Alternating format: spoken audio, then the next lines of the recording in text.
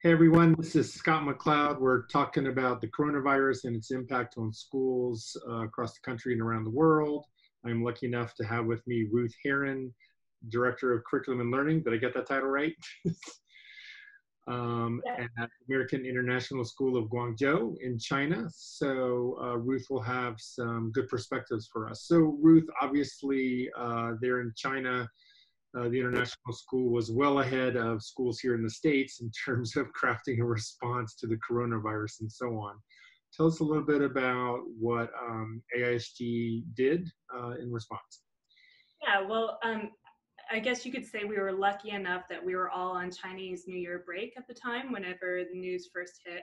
So we had about a week and a half to get all of our policy changes and our plans ready to go. Um, so what we did first is we implemented a new online learning expectation policy, uh, like outlining what do we expect from teachers in the primary, middle, and high school. And about a week later, we also implemented a new assessment policy online. Um, as part of the leadership team, we've been in constant contact trying to pivot on a dime and meet each of the new uh, problems that have arisen. Um, so things like at the beginning, we didn't want any summative assessments. We just wanted those formative checks for understanding, collection of evidence of learning. And that obviously, once it went past the original two weeks into what we're now on week eight now, um, it went into, well, okay, we do need to start collecting evidence of learning. We need to have some type of summative assessment. So what does that look like? Um, and so right now, one of our biggest issues is we're trying to figure out how to do a report card for a semester where some of our kids haven't interacted with us because they either can't or they haven't responded to emails, or, whereas other kids are, you know, constantly interacting with our teachers. So Ruth, you bring up an interesting issue here. What do you do with the students who disappear? Yeah, well, that, if you figure that out, you let us know. Um, we're working on that right now. We're trying to think about the reentry plans for next semester. When we come back to school in August, late July, what do we do with those kids who show up and we haven't talked to them all semester? Um, and so we want to come from a place of compassion, um, of understanding, but we also need to make sure that we're not leaving those kids behind or doing them a disservice. So um, really, I think we're just going to have to be as flexible as possible and ensure that there is clear and open communication between the subject area teacher, mm-hmm. the administrator, and the parent.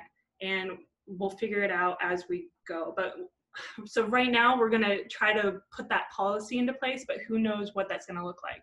Um, it'll be something to the effect of having the kid and the parent explain like why they weren't in contact and then getting that one-on-one help at the start of the semester. Yeah, absolutely. So Ruth, as you think about how you've been trying to support staff, support families, support students, what seems to have been working for you so far? Oh gosh. Um, so we have tried uh, everything, you know, and we're, we're very blessed as a school because we, we come, our, our students all have devices, you know, they come from families that are there to support them. Um, we don't have issues like you see with some schools where the students maybe aren't going to be able to be fed or cared for. So we're starting at a comfortable place and we have the technology ready for us. Of course, with China, you don't have Google or YouTube, Facebook, any of those things, but we have those systems ready and set up. And that's thanks part and parcel to our incredible IT team. Um, one of the things that we have noticed has worked really, really well for our teachers and our students is taking a step back from large online classes or synchronous classes and switching to asynchronous learning, doing more lessons that are away from the screen. So getting kids off of Excel files or off of Microsoft and doing something. Um, and also one-on-one face-to-face Zoom meetings or Microsoft team meetings. Those have been the most important to our teachers and the, the best way that they can connect with students and really help to meet their needs. Of course, this is difficult in classes where, for example, our performing arts classes, where they have you know 170 kids that they need to meet with. They can't have those personalized one-on-one calls with each kid. but those ones that need intervention or extension, it's really easy to intervene that way. Um, especially with our counselors offering emotional support to our students. Even if that kid doesn't reach out to them, they've been able to tell the kid and the parent, set up an individual one-on-one call, and most kids respond to those uh, questions from counselors. And then it's hard to say no to a one-on-one call. So. Yeah, got it. Okay. So where have been the biggest challenges? Where have been the sort of the biggest struggles in in the school's transition? Oh, um, clarity, uh, knowing what's going to happen in the future, um, insecurity.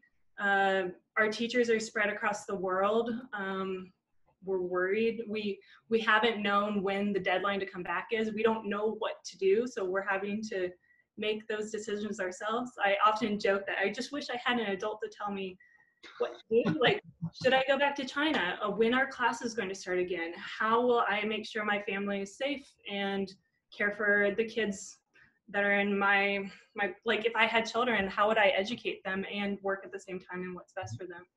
Um, so I think dealing with that insecurity and not knowing what's coming has been the biggest stressor for our teachers. Um, I would follow that up by saying those kids that aren't reaching out and that aren't engaging in lessons, um, that has been a huge stressor for our teachers. We're very worried about those kids. What is happening to them? Why, like, why can't we meet their needs? And what what are we going to do about them next semester? Got it. So Ruth, you're back in Missouri now, but yep. you know, China obviously, um, you know, you said you've been at this eight weeks, whereas most schools in America are at it one or two at most. So what advice do you have for American educators and American schools as they head into the next month or two? Um, you've got to monitor your screen time. Uh, make sure you take some time off. It is incredibly easy. And what I've seen with our teachers and our administrators is that we are working twice as long hours and we're working all during the weekend. Um, and it gets to you. Um, and so making sure you close everything down and step away, get exercise, um, do everything twice as slow, three times as, as slow as you would expect a lesson to take, and do not expect to complete whatever curriculum you have set up for that year. It's not going to happen, and that's okay. Focus on what's most important and connect with people on an emotional level. Um, something that I started with our teachers after noticing that there was so much stress or, or loneliness or isolation was we started doing uh, weekly BYOBs, bring your own beverage, coffee, tea, beer, wine, whatever you want, depending on the hour of the day. And I do it with the, uh, Diana Biabout, one of our incredible innovation coaches. And we sit down, open up a Zoom space, and anyone's welcome to join. You bring your cup of coffee or your wine, and uh, you just hang out. Um, and so, trying to connect our community and ensure that people don't feel isolated has been a big concern of mine. Got it. Uh, Ruth, this is amazing. Thank you so much for your time. Anything else you want to share here as we head into our last couple minutes? Um, just, I think having, coming from a place where you assume good intentions from everyone and also coming from a position of compassion has been really important for us as an administrative team and as teachers. Um, we're all trying to do what we think is best and none of us know what the right answer is but we're all working off of the information that that's there. So um, i think just continually connecting with community and being compassionate has been a lifesaver for us as a team. Awesome. Ruth this has been fantastic. Thank you so much for your time. Um, this has been another episode of the coronavirus chronicles as we check in with schools all over. Thanks